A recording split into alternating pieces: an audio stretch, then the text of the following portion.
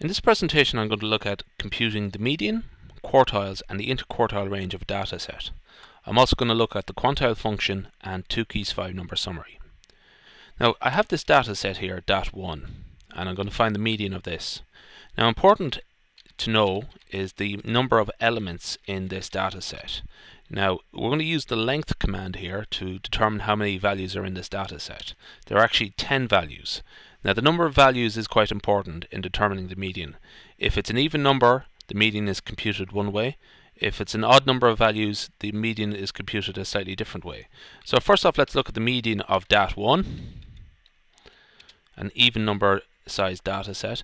This is the average, 16.5 is the average of these two numbers here. These are the inner pair uh, of values of the ordered data set. 12, 13, 14 and 15 are all less than it and 18, 22, 22 and 29 are greater than this inner pair. I have the second data set, DAT2. Now this is very similar to DAT1 eh, except it has this extra value here, 34. Let's double check the length of that. 11 numbers there. So it's an odd number data set. And let's compute the median there of that. DAT2 and it's 17. So this is 17 is the innermost value of this data set. There are five values less than it and five values greater than it. So that's the median. Now we're going to look at percentiles, uh, quartiles and percentiles. So we have the two quartiles we're specifically interested in is the third quartile, Q3. Now this is equivalent to the 75th percentile, 75th percentage percentile.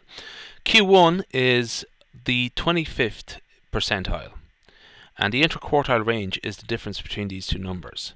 Now there's no uh, um, command that will directly act, uh, compute the quartile as such. So we're going to use this function called the quantile and we're going to specify the name of the data set and we're going to specify the percentage as a proportion. So the first quartile, I made a little spelling mistake there. The first quartile, Q1, can be computed as follows. So that is Q1 there is 14.25. I'm going to compute the third quartile now and that's the 75th percent percentile and the Q3 is therefore 21. Now just to be clear the median is the 50th uh, percentage percentile. So we're not going to look at that anymore. That's the median there.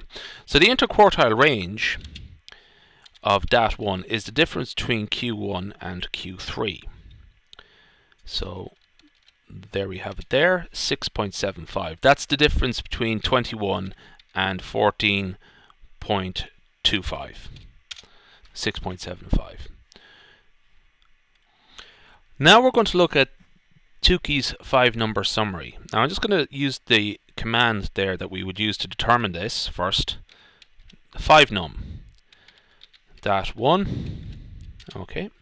Now this is the these five values are the this is the lowest value. This is the minimum. This is the quartile one q1 this is q2 this is the median. This is q3 and maximum now you notice that these two values are different uh, from the values we've uh, computed using the quantile function. That is really the thing is with small data sets there's no uh, set way of computing Q1 and Q3 with larger data sets the difference is negligible but for small data sets you could have great discrepancies depending on whether on which approach you use so the approach used for fivenum is different from the approach used from quantile so just be mindful of that in future. But uh, this is in for larger data sets, it doesn't matter so much. So it's a very useful uh, five number summary. Again, that's the minimum. That's the first quartile, Q1. That's the median, Q3, and the maximum.